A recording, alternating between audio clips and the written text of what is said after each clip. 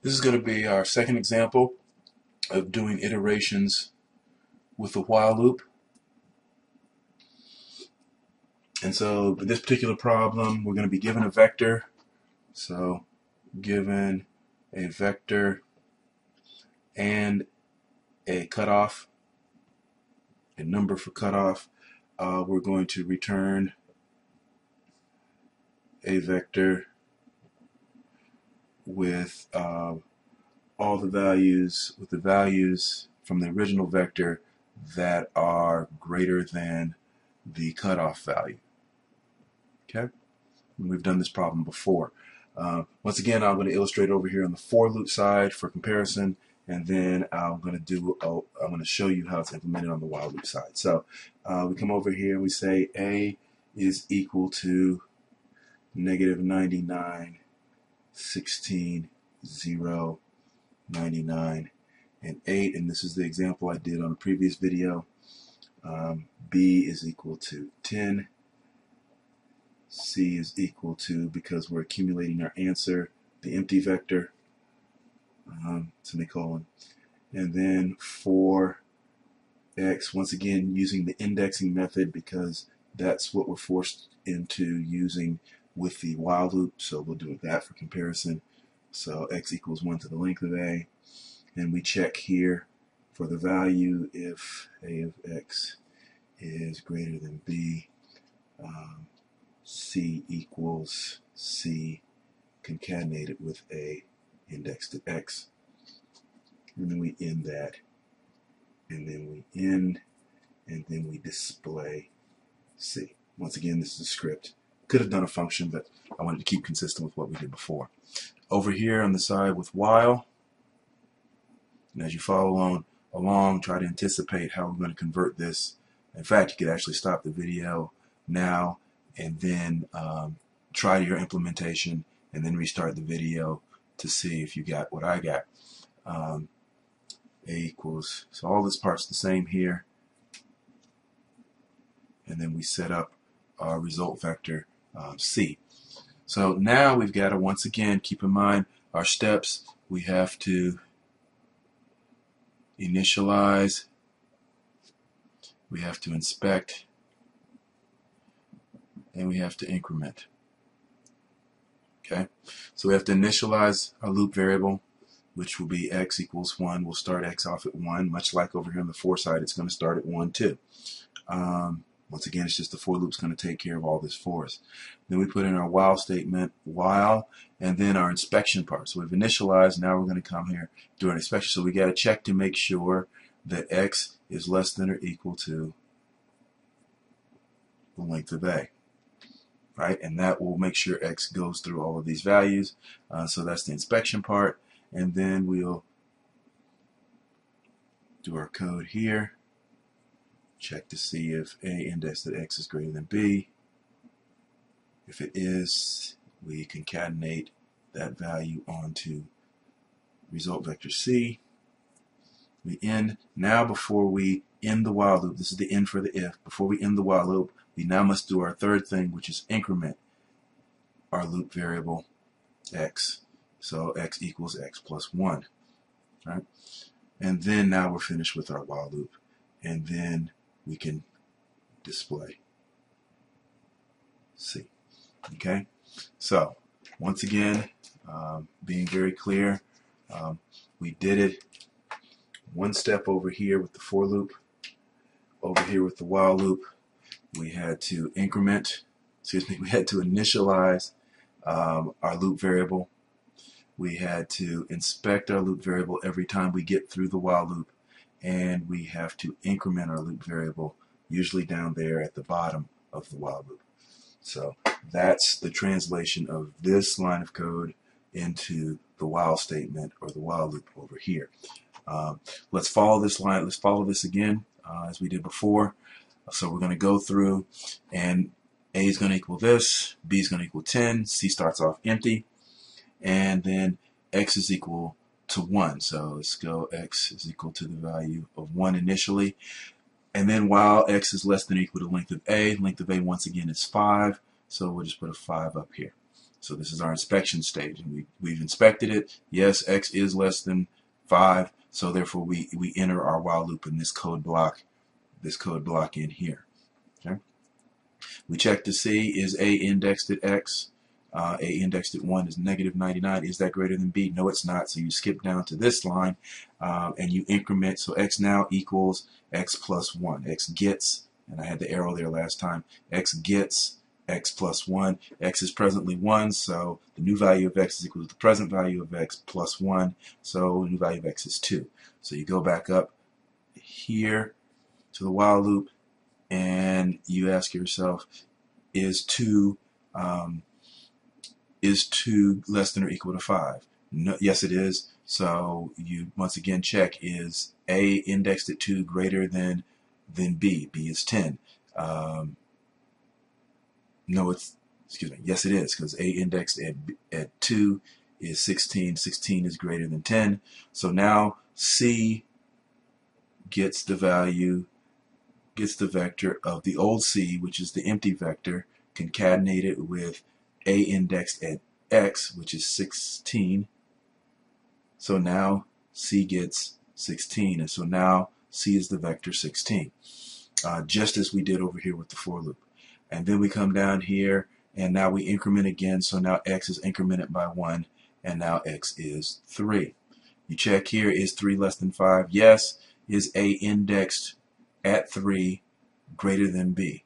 So um, a indexed at 3 is 0 that is not greater than 10 so you do not do this in here and now you just increment again so now x is equal to 4 you come back to the top of the loop. Is 4 less than or equal to 5? Yes, it is. So you is A indexed at 4 greater than B? So A indexed at 4 is 99. Is that greater than 10? Yes, it is. So now C now gets the old value of C, which was the vector 16, concatenated with A indexed at 4, which is 99. And so now C gets 16 uh, C is the vector 1699. You do that, you come down here, you increment x once again, so now x is 5. You come back up to the top, is 5 less than or equal to 5? Yes, it is. So you do it again. Is A indexed at 5 greater than B? A indexed at 5 is 8, B is 10, so no, that's not true. You come down here, x now gets x plus 1, so now x is 6. You come back to the top, is 6 less than or equal to 5? No, it is not. So you exit this loop, then you display C in the command window, and so what you display is 1699. And that's how that code works. Put it in MATLAB, use the break, use the breakpoints, step through it, and convince yourself that this works. Next up, we'll do another example, um, once again, uh, to drive this point home.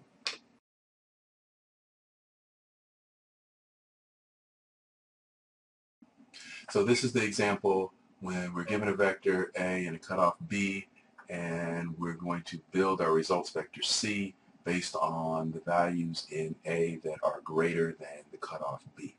And so I'm going to implement that over here in the while loop. Do my clean slate stuff here. Comment in here. Cutoff. Implement while loop. And same as over there 4. 99, 16, 0, 99, 8. E equals 10. C equals empty vector. So now we get to our initializing phase, which we now have to say x equals 1 and then we do while, and now we do our inspection while x is less than or equal to the length of A. And then we do our work part of this code block, which is we check to see if A of x is greater than B. And if it is, we concatenate that value onto the end of our result vector C. So that ends the work part. Now I'm skipping a line here for emphasis, but now we do the increment, the incrementing of our loop variable. Now we end, oops, we end our while loop, and then we display our result vector C. Okay, um, so initializing, inspecting, and then incrementing. So let me put in, uh, let me save it first. All right, and then let's put in breakpoints so we can see what's happening here. All right, so run it. And A gets our vector, B gets 10, C becomes an empty vector, and X gets initialized as 1. I do my check on the while loop, uh, excuse me, on line 10, I check to see if A is less than the length of A. Let me see if X is less than or equal to the length of A, and length of A is 5, so it is, so I enter my loop at 11. I do the check to see if A indexed at 1 is greater than B. It is not, so I skip that, and I go down to line 15, where X gets incremented to X plus 1, which now becomes 2. Back to the top of the while loop, I do my check again, 2 is less than 5. Um, because x is now 2 and the length of a is 5. Um, so that means I get into my while, my while code. Um, if a indexed at 2 is greater than b, uh, b is 10, so 16 is greater than 10. So I add uh, the value 16 to the results vector C, and you see that happening here and then I jump down and I increment again on line 15. So now x equals 3. Once again, I pass the test at line 10. Um, is A indexed at 3 greater than B? No, it's not. So I jump down to line 15. I increment again. X is now 4. Top of my loop, I do the check. 4 is less than 5. So now I'm down is A indexed at 4 greater than B. So is 99 greater than 10? Yes, it is. So I enter that if statement. I execute line 12, which I concatenate 99 onto my result vector C. And C now becomes the vector 1699. I go to line 15, increment X from 4 to 5. You see that here. Top of the while loop again, 5 is less than or equal to 5. So I check again, is A indexed at 5 greater than B? Is 8 greater than 10? No, it's not. I skip down to line 15, increment again, now x is 6. I go back to the top of my while loop.